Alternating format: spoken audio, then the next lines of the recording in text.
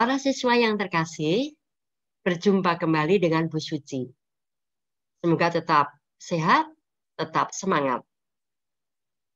Pada video kali ini, kita akan belajar tentang pendalaman materi tata nama senyawa organik. Kita ikuti, kita simak video berikut. Kita mau belajar tentang pendalaman soal tata nama senyawa kimia.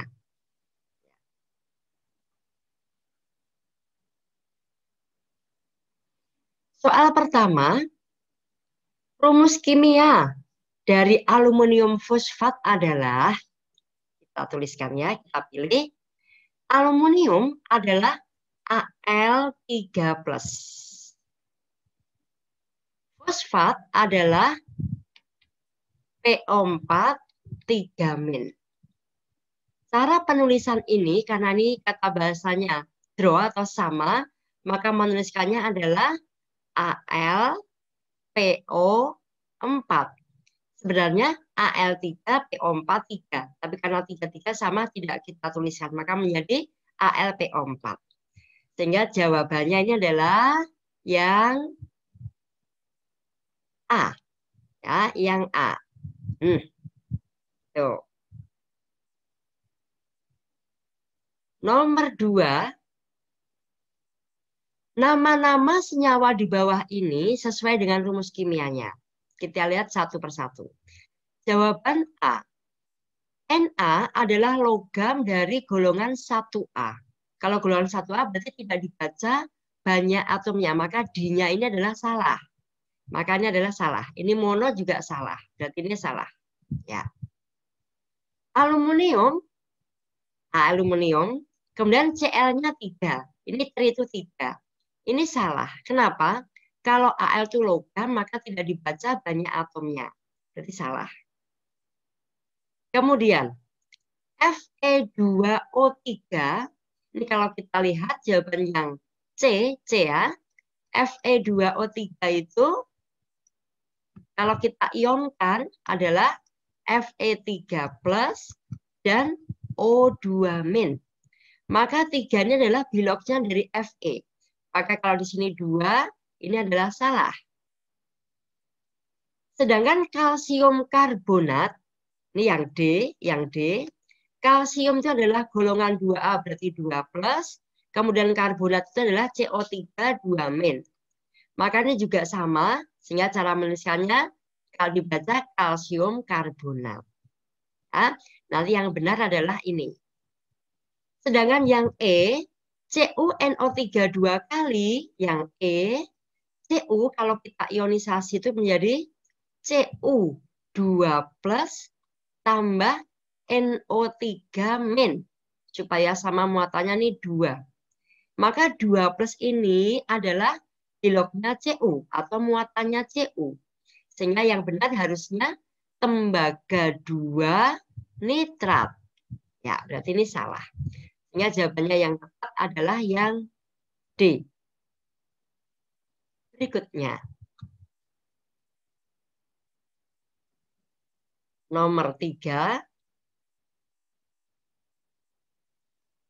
Nama kimia dari senyawa MnO2 adalah kita lihat. O itu harus min 2. Sehingga kalau MnO2 kita ionisasi gitu ya. MnO2 ini adalah Mn tambah O. O itu 2 min. Kalau kita tuliskan Mn-nya itu menjadi 4 plus karena di sini karena di sini O-nya itu harus 2 min. Ya, tetapi cara menuliskannya menjadi MnO2. Atau begini juga bisa.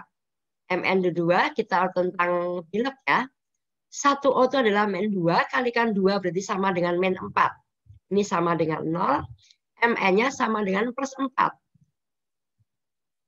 Biloknya plus 4. Maka kita yang tepat adalah mangan 4 oksida. Berikutnya. Nomor 4. Rumus kimia senyawa disfosforus pentaoksida adalah Di fosforus berarti dia non logam, pentaoksida berarti non logam. Kita baca banyak atomnya. Di fosforus adalah P karena dia dua berarti P dua pentatu lima oksida itu O berarti P2O5. Nah ini penyebabnya ya, bukan fosforus itu bukan F. Kalau F itu Florida. Jadi ini salah, ini salah. Kemudian dibaca di indeksnya, jadi bukan di depannya. Depan itu koefisien namanya. Ini berarti salah. Jadi ini duanya bukan, berarti kalau gitu ini salah. P2O5. Jawabannya adalah yang D. Ya. Selanjutnya kita nomor 5. Baik. Rumus besi 2 oksida dan tembaga 1 oksida berturut-turut yaitu besi 2 oksida. O itu min 2. 2 itu adalah muatan dari besi. Berarti kita tuliskan besi itu adalah Fe, kemudian O itu adalah 2. Berarti ini 2 plus tambah O2 min. Karena ini sama, maka kita tuliskan sama dengan FeO. Sedangkan tembaga satu oksida, tembaga satu berarti kita tuliskan Cu kemudian O itu mesti 2 min ya di sini ya, 2 min, maka kita menuliskannya Cu, O, satunya ditaruh di sini, duanya taruh di sini, berarti dua. Dua adalah muatan dari O, ini ada satu cuma nggak ditulis. Satu muatan dari CU. Sehingga menuliskannya menjadi CU2O. Maka yang paling tepat adalah FeO dan CU2O. Kita pilih jawabannya yang B. Teman-teman, demikian tadi ulasan tentang pendalaman soal latihan tata nama senyawa kimia. Semoga dapat untuk menjadi bekal belajar, latihan mengerjakan soal-soal yang lain. Tetap sehat, tetap menjaga protokol kesehatan, semangat, dan terus belajar. Terima kasih.